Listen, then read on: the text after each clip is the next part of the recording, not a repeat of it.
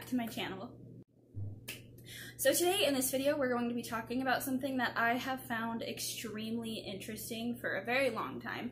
So something I think I've mentioned before is that I have this love slash slash obsession with really old structures and buildings um, houses stuff like that things that were built like back in like the 1800s and maybe even further than that that are still kind of around because i love to hear the history and everything about it and how it was built how long it took to build but also the dark creepy spooky history behind it. So I've had this idea for a long time, um, but I haven't really taken the time to do it. And the way I wanted to do it is um, different because with COVID going on, things are a little more limited. So I decided I'm just gonna start doing this now and then, I don't know, expand later. So I was actually, I watched a video recently um, of I think the YouTube channel is Glam and Girl Gore. Wow, Glam and Gore. I said Glam and Girl. Glam and Gore, and she talked about the um, uh, Cecile the Cecil Hotel. Um, and I thought that was really, really interesting and really cool. So I decided to actually talk about a hotel that I find really, really interesting that is literally down the street from where I live. And that is the Ben Lomond slash Bigelow Hotel. Um, it's one of the buildings that is the one of the oldest buildings in Ogden, uh, which I think is really cool. So today, that's what we're going to talk about. We're going to get into some of the history, some of the dark history, and some of the spooky history within this hotel.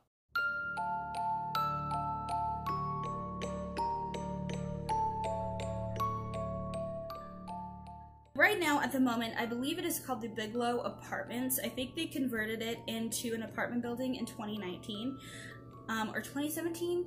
Um, I couldn't really get any confirmation in that because when you look up the website, you can actually book rooms. So I don't know if like maybe part of it is still a hotel, but I know a lot of it is an apartment complex. But before the Bigelow and the Ben Lomond were even a thing, back in 1891, it was known as the Reed Hotel. Um, originally, the building only had five uh, stories, so it only had five floors, um, and it had 140 rooms and a restaurant on the fifth floor. Um, it was said, and potentially more than likely, it was used as a boarding house in the Prohibition area, and there's actually a lot of people here in Ogden. You can ask a lot of the Ogdenites, the locals, about the tunnels underneath 25th Street. Uh, a lot of people believe in them and a lot of people don't, but basically these tunnels were created by people so they could smuggle alcohol or so government officials could, you know, have prostitutes um, and not be seen, drugs, stuff like that. Um, that so that way, you know, they could smuggle things and like gang members and stuff could get from the hotel to wherever they were going without being seen or without being caught which for a lot of people prostitution alcohol drugs gangs are really not that uh, are not that uncommon when it comes to hotels i guarantee you any hotel has a story about prostitution or um or like any mafia gang suicide stuff like that. So in 1927 was when it became the Bigelow Hotel. It was actually purchased um, so that way they could they demolished it. They demolished the entire Reed Hotel to decided to and wow they demolished the whole hotel and built on top of it. They needed to um, like redo safety regulations and fire hazards. Um, they ended up adding 11 more stories um, and then renamed it to the Bigelow. It was actually purchased by Mariner S. Eccles in 1933 and then was named into the Ben Lomond Hotel. So we're to get deeper into that history because those were just bullet points that I probably should have mentioned, but here we go.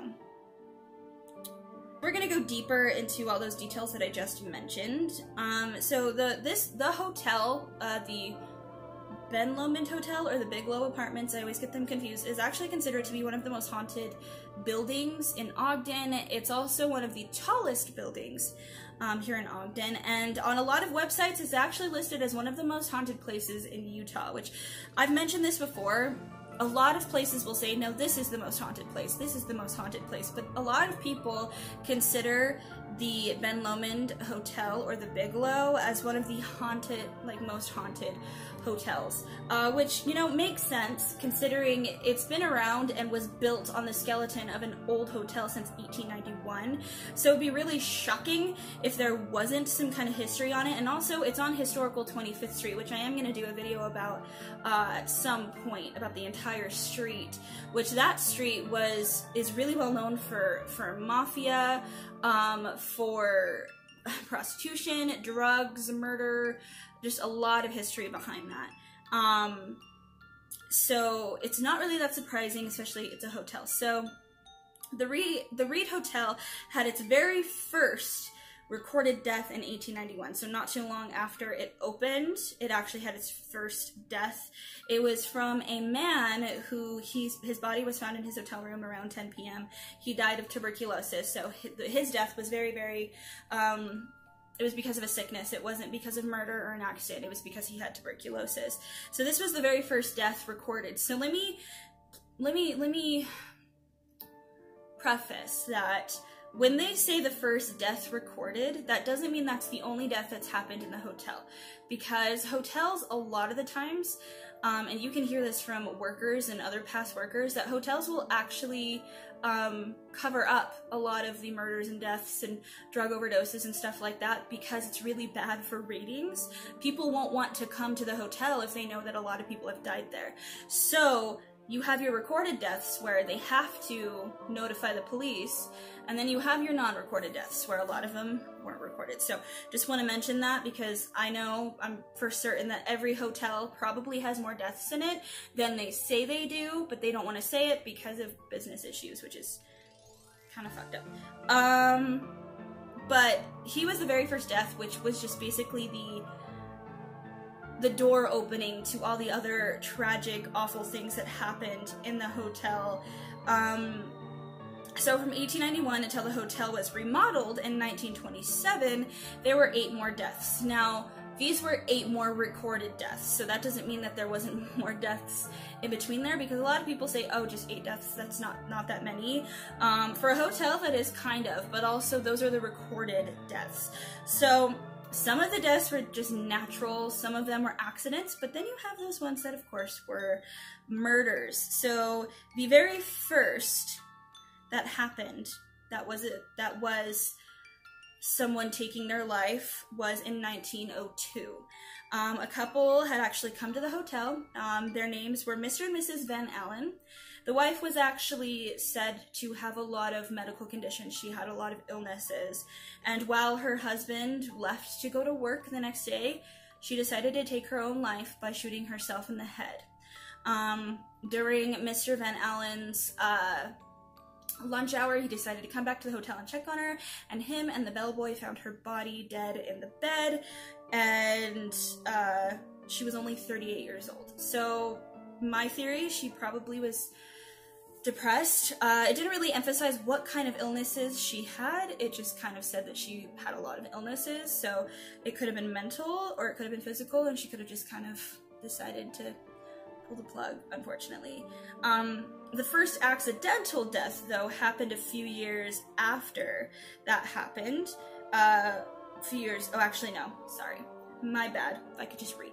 The first accidental death happened a few years before the Reed was demolished and made into the Bigelow. So it happened in 1921, and a new cook, and I'm gonna try to say this, and it might be wrong.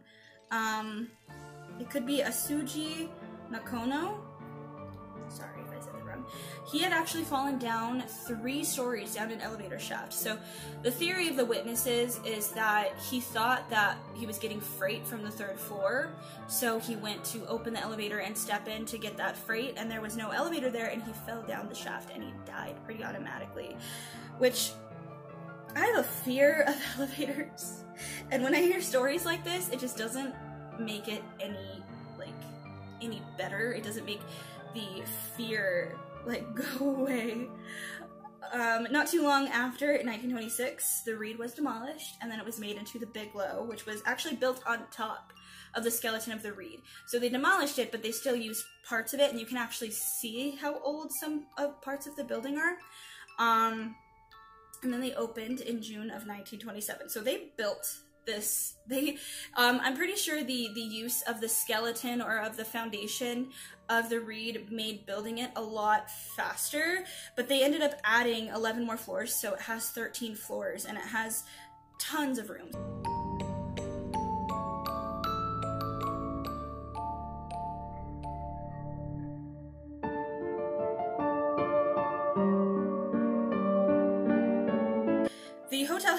opened for a really that long until like the, the first death occurred after the Bigelow opened.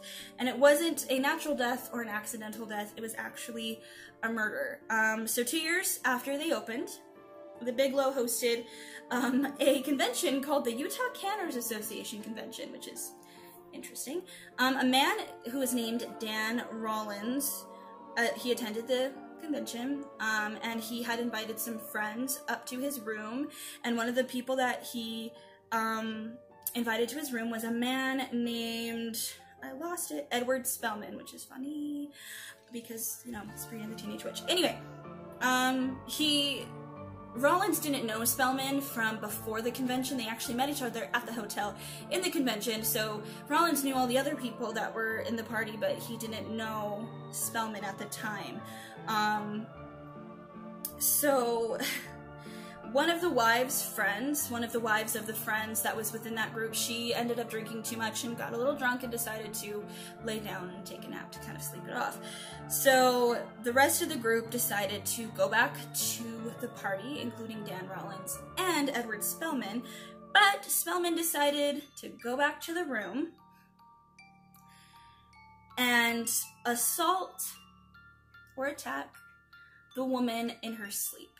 Uh, luckily, Rollins did show up and there was a struggle. He struggled to get him into the elevator. When he couldn't do that, uh, Spellman tried to hit him. Um, he missed, and Rollins hit him hard enough to make him smack his head on the wall and die immediately. He died instantly. So this guy hit him hard. He hit his head hard. Um, the records for his death say that he died from a ruptured artery, so he hit him hard. And Rollins was actually charged for his death and acquitted for it. Um, so, uh, it really shows, you know, maybe don't invite strangers up to your hotel room. This, uh, uh, but this was, I think nowadays this would be considered maybe uh, murder too because it wasn't an intentional death. It just happened because of the struggle. Um, but I mean, this man, Rollins, probably saved that woman's life. Um, it's unfortunate that she was assaulted while she was drunk and asleep, and that's awful, but. So that was the very first murder, which really helps the energy of the hotel, right? It makes the hotel just so much better because like it's one thing if someone dies of natural causes because there are theories that if someone dies of natural causes a spirit will be will easily move on. They can't be like angry or vengeful or anything like that. But when someone dies because of murder or because of something potentially accidental or even taking their own life um, i can understand how that could disrupt a lot of the energy and and really destroy the soul because you're being ripped out of your body before you're supposed to. Um, but also, this man tried to assault this woman, so he clearly wasn't a very nice man. Doesn't mean he deserved to die, but he clearly wasn't a very great person. um, Flash forward to 1933, the hotel was purchased by Mariner S. Eccles and was re renamed to the Ben Lomond Hotel. So we've finally gotten to the third name of the hotel. Uh, for several years after, luckily, as far as we know, the hotel remained quiet. There wasn't really any recorded deaths after that, but naturally, that changed, of course. So it wasn't until uh, 1939 that uh, more un un like terrible things occurred. So basically, two men had gotten out of a cab in front of the hotel and they actually got in a pretty bad argument with one of the the bellboys that was helping them get their bags into the hotel. Cover your butt. You're being indecent. Okay. Sorry, I had to stop for a very forced kitty snuggle. Hmm. I'm gonna go over here. Oh, oh, sorry, sorry, sorry. Alright, anyway. Um, so, as I was saying, they got out of their cab and was having a pretty heated argument with one of the bellboys. Uh, to, um, I believe they were the ones that helped you get your bags into the hotel. Um, so after that, they went straight to the um, the elevator and asked the um, elevator operator lady to take them up to the top floor. But she got this weird feeling like this weird energy about them and decided, you know what, I'm gonna take them back to the lobby and have find someone to help me with them. Um, but when she got out, they ended up getting back in the hotel and taking it to the top floor before she could stop them. They went to a window on the top floor and decided to jump from the window one after the other and fell to their deaths to the ground. Um, it doesn't really go in very deep on why they chose to do this. And usually sometimes there is no explanation. There was another woman, um, I believe there was another woman in 1951 who decided to jump from the, her ninth floor room window to her death as well. So what's really interesting is not too long after the two men jumped, from 1939 to 1950, there wasn't any recorded deaths, which again, reiterate, that doesn't mean there wasn't any, until that woman jumped out of her ninth floor window in 1959. Here's my issue. This probably shouldn't be an issue. This probably even shouldn't be something that I've thought about. I don't understand why people jump off of high places to die because there have been records of people jumping off the Golden Gate Bridge and living, people who have fallen out of planes and lived, people who have jumped from hotel rooms and lived. And I just feel like the repercussion of falling and not falling correctly and potentially not dying would be worse than death itself because you'd be par- probably paraplegic, probably brain dead. You would be trapped in your body. And it's like a lot of these people probably take their own lives because they're sad or they're depressed or they feel like there's no other way out. But then if that were to happen, then and you were to live, then there really isn't a way out until you do die. So I don't know. Um, just, you know, wanted to say. But anyway, anyway, I digress all of these deaths were accidental, were murders, or people taking their own lives, but there was one pretty horrific, pretty awful death that occurred in 1976 on October 24th. Interesting. Um, the body of a man named Henry Topping Jr. was a hotel clerk, and his body was found. Sorry, there was a bug. Um, his body was found in the lobby, and he had been stabbed 44 times. Later, the police actually stopped and convicted a 15 year old boy uh, for the murder. It didn't really go deep into how they found him or how they figured out, like, he was the murderer, but I mean, if he was, it makes me question why. What happened to inspire this 15 year old child to stab someone 44 times? That's that's angry. That's not that's not like self-defense that's anger that's angry right there um it's no shock when you hear about accidental deaths drug overdoses murders or people taking their own life in hotels um i'm fairly certain hotels are probably the one of the top tier places that these things occur especially when it comes to people taking their own lives um, I think my theory is that people don't want to do it at their homes, either because they don't want to ruin that memory, not just for themselves, but for the people that they love. Um, maybe their family lives there and they don't want to ruin it for them. Um, or maybe they want somewhere different and comforting and you know, don't want the guilt. I don't know, but it's really sad.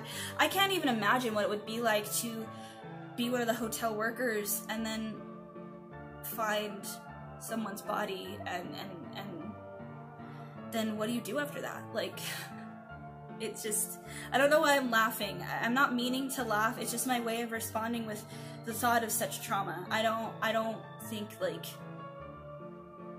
like I'm sure there are hotel maids that have had to clean blood off of carpets. Or like a lot of people have said that they won't even clean the blood off the carpet. They'll just like take that part of the carpet out and like put new carpet in or sheets like they'll or the beds the beds is a big one that they'll just flip the beds um and that there are like signs to look out for when you're in a hotel like different curtains or different paint or like uh different parts of the carpet chances are someone died and blood got there so you know that's fun to think about. When you go to a hotel it's almost something that like i want to kind of like figure out. I moved the table.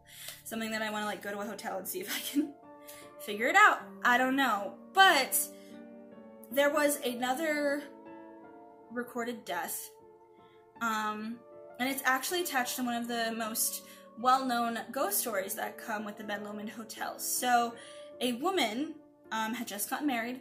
She was about to spend her honeymoon um, in the uh, Ben Lomond Hotel.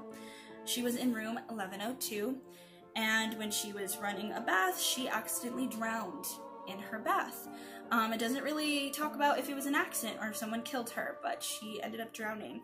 Guests have actually said that while they were trying to take a bath in the hotel, they could feel someone trying to push them into the water, or that if they were in the room watching TV, the bath would turn on and start running by itself. Um, what makes the story even sadder, though, is that after the tragic death of her, she, like, her son came to the hotel to gather her stuff, and in his depression from losing his mother, he ended up taking his life, and he was staying in the room right next to the room that she died in. Um, that's really. I know I keep laughing. It's just I'm not meaning to. I, I, it's very sad, and I guess that's my response to my response to death is to approach it with humor. It's called gallows humor because for my brain, it's really hard to process. I can't even imagine what it feels like to get a phone call and and let you know that your mom just died and we need you to come get your things. Like I I can't even think of where my brain would go. Um, and a lot of guests have said that they uh, who have stayed in that room have um, there's like a fly and it's driving me insane. But a lot of guests have said that they'll that they stay in the room that he killed himself in and they'll feel bouts of depression. They'll actually hear a man talking in the room like they'll be in the bathroom and they'll hear someone talking or that they'll even see like physical apparitions. Um, some staff have said that there will be calls from room 1102 but there'll be no one on the other side and that they'll smell lilac perfume, which apparently was the perfume that the woman used to wear. Um, another thing that occurs in the hotel apparently is that the elevators will just randomly do their thing by themselves. They'll just move up and down the floors in a random pattern, and that there have been times where, like, the floor will stop, the elevator will stop on a certain floor and open as if they're letting someone out, and then close and you know for for no reason. Um, which could be the guy that fell down the elevator shaft. That could be it. Could be anyone, or it could be someone who's just trying to entertain themselves and they're like, you know, watch me do this, watch the people freak out. So, I don't know. There have been other, you know, people seeing apparitions in hallways, cold spots, you know, the typical things that come with hauntings. Um, I've always been curious about it. I've always wanted to get a room there, and now that it's apartment buildings, I kind of want to live there. Not just because it's potentially haunted, and but because of the history and how beautiful the building is. It's very gorgeous and and when you walk into the building and when you see the building you can tell that it's just the history within it alone that pieces of it have lasted throughout the years this hotel has basically been around since 18 since 1891 and now it's 2020 and it's still standing tall and just there you know? And it's it's it's a beautiful beautiful building which i have taken clips of it so you can see what it looks like. But it's a beautiful beautiful building but it's so such a very um interesting thing that something so beautiful and so historical has when you go inside has such dark history it's interesting how you can look at something it's a great way of looking at something and like not judging a book by its cover basically where like you can see something on the surface but you don't know the true depths until you really look into it. And that's how it is with a lot of hotels and a lot of buildings that you know there's they're beautiful and they're gorgeous and they're beautiful art pieces but they always have some kind of darkness behind it that makes them even more interesting also what i think is really cool and what i find super like geeky is that like walking in a place where someone walked in several years before you were born is very interesting. Ogden is one of the most interesting little cities, in my opinion. It has its issues, believe me, but there's so much history within the city that is so interesting and and walking down historic 25th street and and knowing that someone from several years ago hunt like like way back when walked down that street and just like the poker games and the murders and the prostitution and, and all the things that could have happened there to me is really fascinating knowing that my feet are on the same floor and I'm looking at the same chandelier as someone did potentially back in 1933 is so cool. To me, personally, I find that very cool. Um, but also, it's very sad. I think hotels are one of the saddest buildings in the world because they hold so much dark stories and dark history and, and death and, and sadness and pain. If those walls could talk, I can only imagine what they would say. And it's really just very, very sad to think that those walls were the last walls that a lot of people saw. And I feel very bad for the people that work at the hotel and have had to experience these things throughout the years. Um, but it doesn't make it any less fascinating to me. Alrighty, so there you go. That is some dark, spooky history on the Ben Lomond slash Bigelow Hotel apartment things. This is one of my favorite buildings, definitely, here in Ogden. It always has been, and ever since I've they they used to put up signs around the the around Ogden that would tell you the history of the buildings like that you were at and ever since then I just grew this I've always had an obsession with architecture and history of buildings but it just made it more so because to me it's almost like getting to know a person and their personality. You start to get to really know this building and and learn about something so profound and a lot of buildings here in Ogden are very old. Ogden was one of the very first settlements here in Utah, and it was originally known as Brownsville before it was Ogden. So it has so much history in it, and I am going to touch on that in other videos because this video is probably already long enough, but there's so much history here, and it's so rich and creepy and spooky and dark, and I love it. Um, Ogden is amazing to me. Um, but those are the the um, some history. Oh, I forgot to mention how big this building is. So the Ben Lomond Bigelow Apartments Hotel has 13 floors, 23 executive suites, 6 two-bedroom suites, 58 standard suites, and 12 short-stay suites with full kitchens.